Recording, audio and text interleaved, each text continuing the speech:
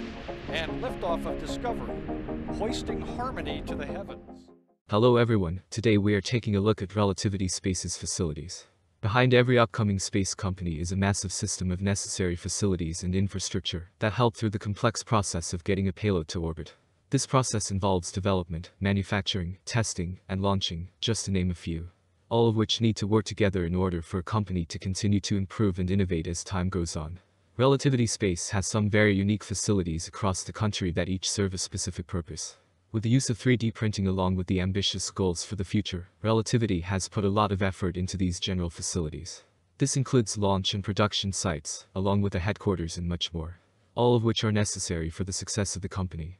Over recent years we have seen Relativity Space grow at an extremely fast pace as they work towards their first ever launch.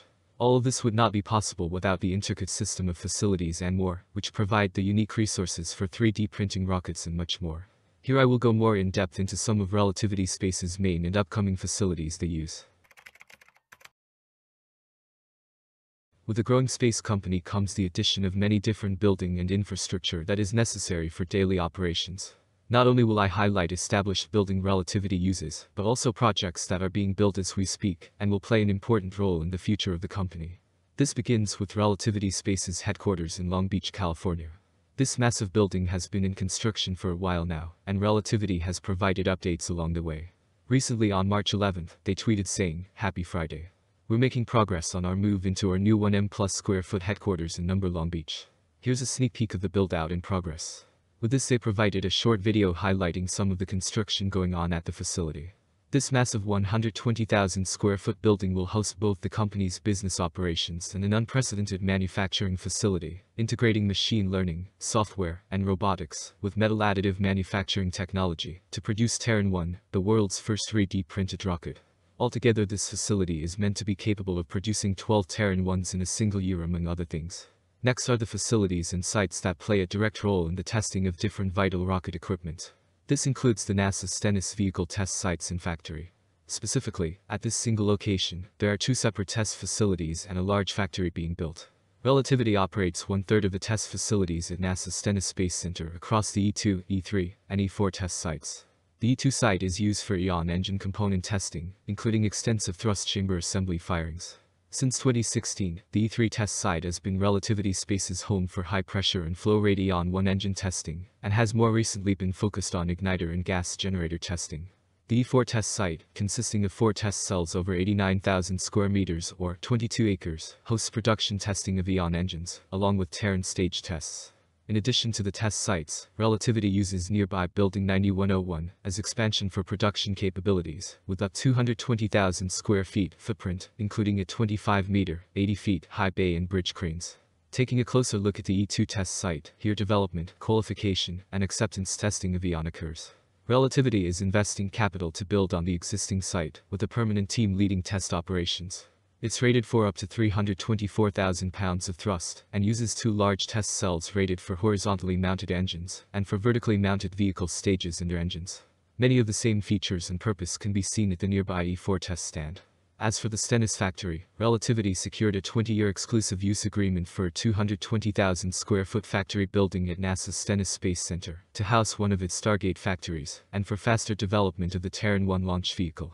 With production and testing facilities on one site, Relativity can offer greater flexibility to its customers and more. This building alone will feature an 80-foot high bay, 50-ton overhead crane, existing industrial infrastructure, and much more. All of which are vital for the manufacturing and testing of different Relativity space products. I just highlighted some of the key infrastructure Relativity Space uses during the development, manufacturing, and testing phase of the rockets, such as Terran 1 and more. The next most important facilities include the launch sites themselves.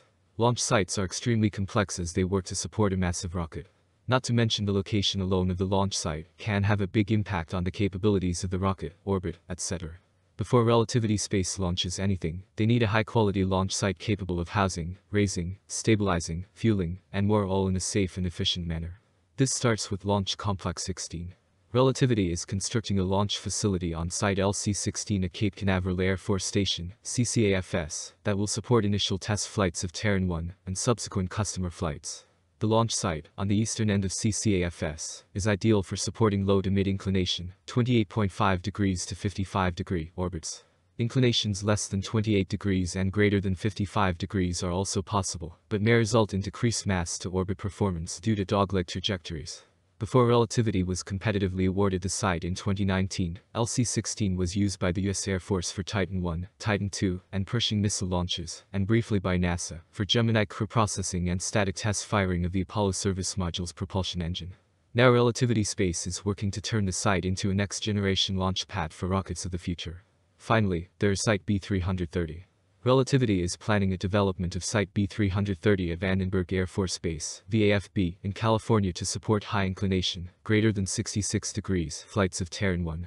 The launch site is located on the southern end of VAFB South Base.